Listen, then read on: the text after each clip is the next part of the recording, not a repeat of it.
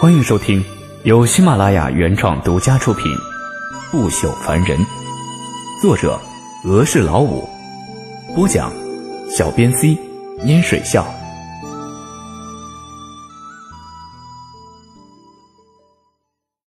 第四百一十五章，再见府爷。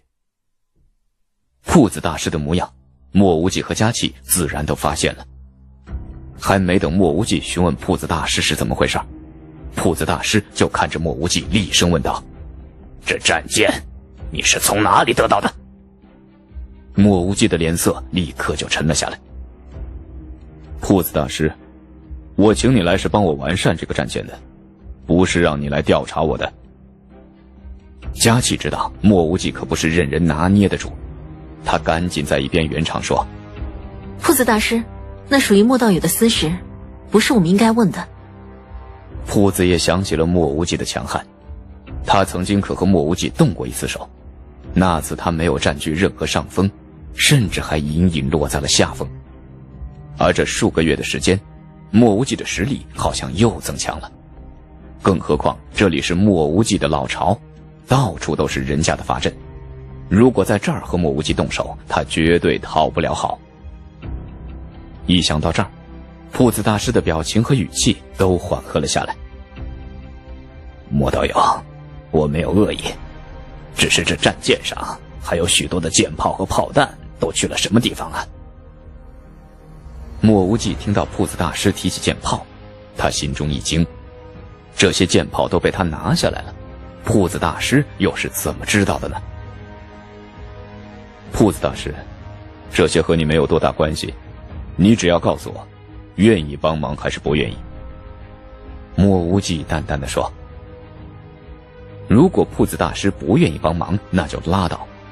他就不相信没了铺子大师，他还炼制不成这个战舰。”铺子大师深深的吸了一口气，主动把戒指还给了莫无忌。莫道友，我知道你非常人，这个忙我非常愿意帮，而且愿意和你一道离开半仙域，炼制这艘战舰。不过我有一个条件。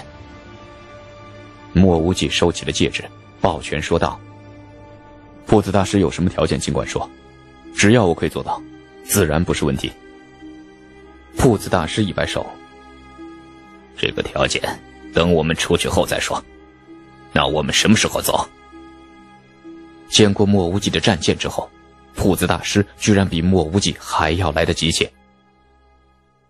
我去兑换一些碎灵石。然后离开。莫无忌答道：“他这次离开半仙域后，肯定要修炼到地仙才会回来，所以兑换一大批的碎灵石那是必须的。”铺子大师犹豫了一下：“我身上还有数百枚碎灵石，若是足够，我建议你不要去兑换了。”莫无忌心想：“果然是炼气大师啊，身家居然如此丰厚。要知道。”他在半月狱中看见的那些天才，也不过是数十枚碎灵石而已。虽然那些天才可能是将碎灵石拿来修炼了，但铺子大师在这个地方依然算是非常富有的家伙。不够用，我一个人去就够了。佳琪道友，你和铺子大师就在这等我。莫无忌说完，已经抓起箩筐，迅速离开了房间。他准备要去找那个府爷。等等，铺子大师只来得及叫了一句，莫无忌却早已离开。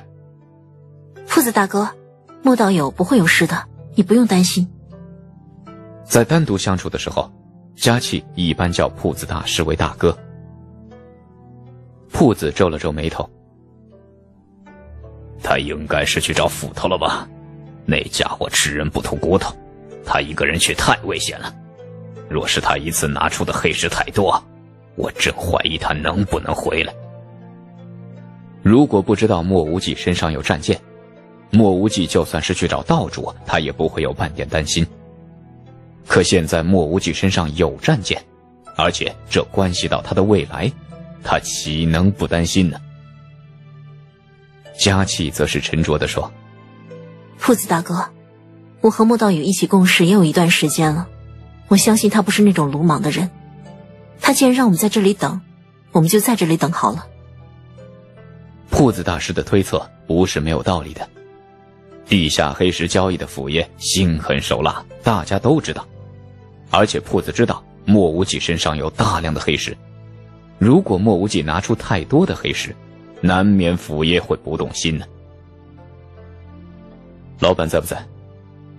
莫无忌第二次来到这里的地下交易的屋子，更是直截了当。那炼气修士认得莫无忌，只是对莫无忌点了点头，旁边的小门就直接被打开。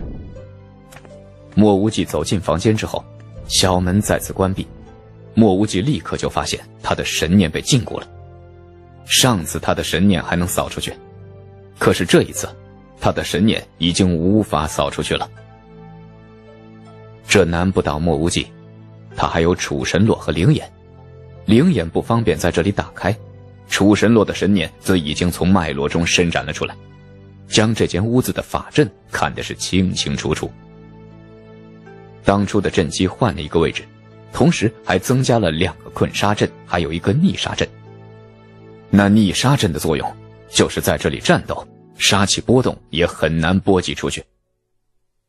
莫无忌心中冷笑，这几个困杀阵对他来说基本上等于无。莫道友，好久不见呢。不等莫无忌开口，坐在上首的府爷就主动打了一句招呼。莫无忌一听就知道对方调查过他。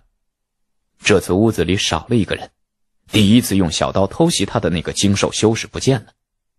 莫无忌很清楚，这家伙不是不见了，而是隐匿在门边的法阵之中，估计是知道自己过来，准备给他一个下马威。莫无忌依然不惧，他早已找到了这里的阵基所在，只要一战斗。他会在第一时间轰开阵基，出现在外面。这也是他为什么不带铺子大师和佳琪来这里的道理。他肯定府爷在这个地方的人不是这四个，就算是他们全部来，也是寡不敌众，倒不如他一个人来灵活机动许多。莫无忌木然地说：“之前一直在外面挖黑石，最近刚回来，所以想要来交换一些黑石。”他闭关的事情，就算是对方知道，莫无忌也不会在乎。要交换多少啊？府爷端起身边的茶杯，喝了一口，漫不经心地说：“莫无忌很讨厌这家伙的做派。既然是做交易，大家就平等的坐下来慢慢谈。这家伙却一直高高在上，就好像是施舍一样。若不是莫无忌实在是需要碎灵石。”他还真不想和这种人交易。这家伙真是完全不懂做生意。那如果我一次交易五十枚黑石，价格会不会上升一些？还是二十五岁灵石？如果交易一百枚呢？这次府爷倒是抬起了头，他惊讶的看着莫无忌：“你有一百枚黑石？”莫无忌不答，只是静静站在远处等候。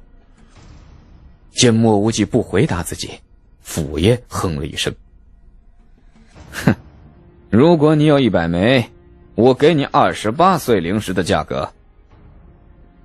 两百枚呢？”莫无忌依然平静的说。府爷闻言忽然大笑出声：“ 你消遣我来了吗？”若是你能拿出两百枚黑石，我给你上次说的五十岁灵石价格又何妨？若是你拿不出来，就别怪我不客气。在我这里，没有人可以开玩笑。坐在府爷身边那名清秀女子闻言，叹了一口气。她其实不赞成府爷这么做的，可是府爷硬是要说，无论能不能把莫无忌收过来，也要试试看。若是实在不行，那就给这新人一点教训，让他对这儿有些敬畏之心。莫无忌没有再说话，他也知道，府爷说的这五十岁灵石不是真心的价格，真心价格能到三十已经是非常了不起了。这家伙在这儿布置了困杀阵和逆杀阵，肯定是要给他来点狠的。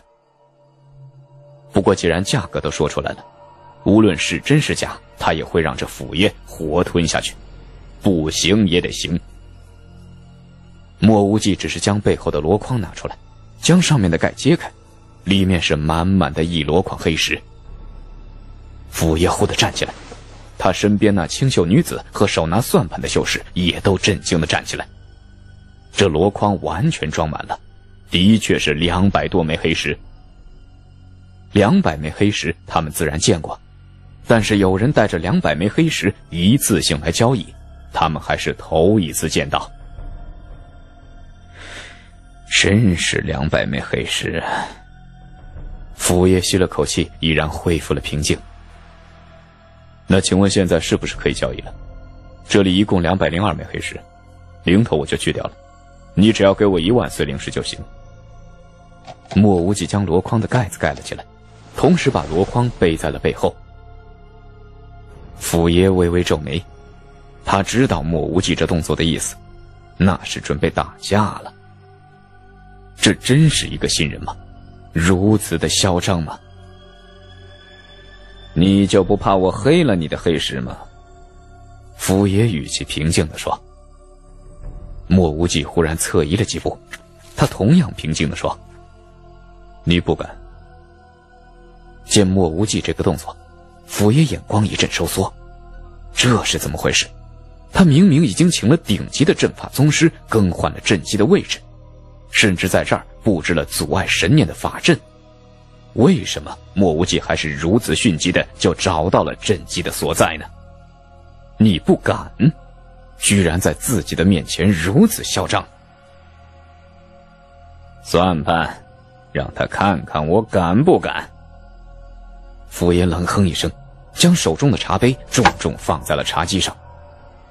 莫无忌身上背了两百枚黑石，他肯定莫无忌也不敢破坏这里的阵基。是，手拿算盘的中年修士一听到府爷的话，登时就扑向了莫无忌。莫无忌心里一沉，他发现自己有一点没有考虑到，尽管他找到了这个地方的隐秘阵基，但他同样不敢破坏这里的法阵。他可是带了两百枚黑石，一旦破坏这里的阵基，以府爷的关系网，也许只是利益损耗一些，而他却很有可能会丢掉小命。果然还是百密一疏啊！